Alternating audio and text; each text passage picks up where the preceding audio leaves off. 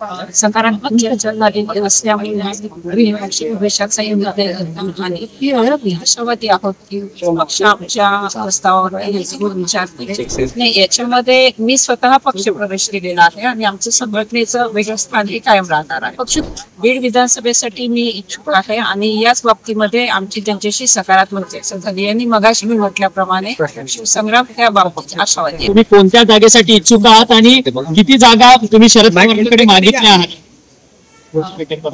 प- पवार साहेबांशी आत्ताच आमची भेट झाली आणि त्या भेटीमध्ये आम्ही विधानसभा निवडणुकीच्या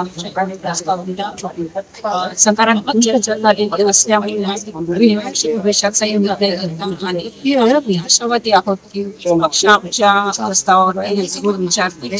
त्याचबरोबर पक्ष देखील आम्ही सक्षमपणे पार पाडण्यास लोकसभेला सुद्धा आशा वगैरे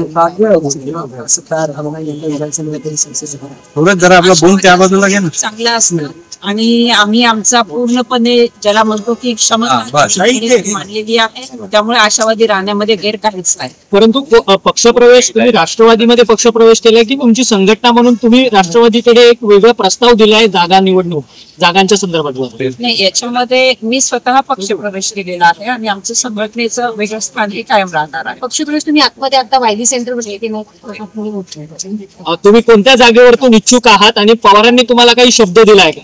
बीड विधानसभेसाठी मी इच्छुक आहे आणि याच बाबतीमध्ये आमची त्यांच्याशी सकारात्मक चर्चा झाली आणि मगाशी मी म्हटल्याप्रमाणे शिवसंग्राम त्या बाबतीत आशावादी आहे. जर नाही जागा सुटली तर मग तुम्ही त्या ठिकाणी जो उमेदवार देईल त्याला तुम्ही पाठिंबा देणार अं, पक्ष देईल ती जबाबदारी आम्ही सक्षमपणे पार पाडणार. परंतु शिवसंग्रामची धुरा आता कोण सांभाळणार? कारण की विनायकराव मेटे गेल्यानंतर ती धुरा तु- धुरा तुमच्या हातात आली होती. तुम्ही शिवसंग्राम संघटनेचं काम संपूर्ण पाहत होता. परंतु आता तुम्ही स्वतःच तुतारी पक्षामध्ये गे तुम्ही आता पक्षप्रवेश केलाय. मग त्या संघटनेचं संपूर्ण धुरा कोण सांभाळणार पाहिजे शिवसंग्राम ही एक सामाजिक संघटना आहे. म्हणजे मेटे साहेब देखील जेव्हा राष्ट्रवादी काँग्रेस पक्षामध्ये होते तेव्हा शिवसंग्रामचं कामकाज चालतच होतं. आणि आताही मी शिवसंग्रामची अध्यक्ष असणारच आहे. ती सामाजिक संघटना आहे आणि हा राजकीय पक्ष आहे मग शिवसंग्राम संघटना ही